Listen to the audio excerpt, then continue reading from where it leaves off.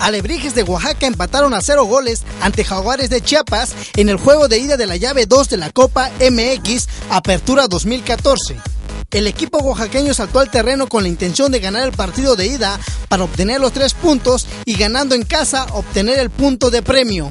En el primer tiempo, Jaguares y Alebrijes pelearon por el control del balón en el centro del campo, por lo que las oportunidades en los arcos fueron escasas, manteniendo el marcador sin movimiento. En el segundo tiempo, el cuadro chapaneco intentó ir al frente, pero fueron frenados por la muralla defensiva de Alebrijes, que ante el descuido buscaron hacer daño a los jaguares, pero no encontraron fortuna.